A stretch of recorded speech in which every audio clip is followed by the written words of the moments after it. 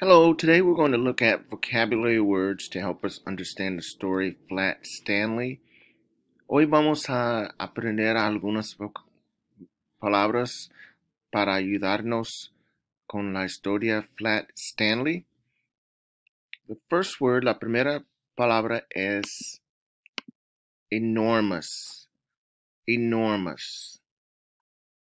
Enormous. Enormous significa muy grande, gigante.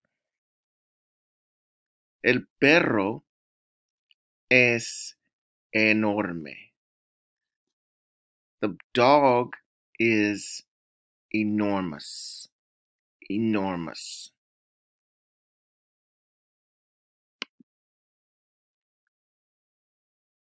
La próxima palabra es bulletin board. Bulletin board bulletin board. Bulletin board significa una tabla. Es una cosa donde se puede ah, poner, pegar fotos, um, mensajes, cosas así. Bulletin board. Bulletin board.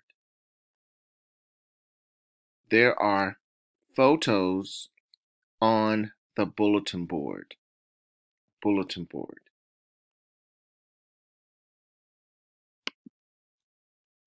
La próxima palabra es breakfast.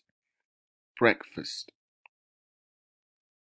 Breakfast significa desayuno. Breakfast. Breakfast es la comida que come normalmente cuando se levanta. Normalmente se come huevos, ah, jamón, papas, café, breakfast.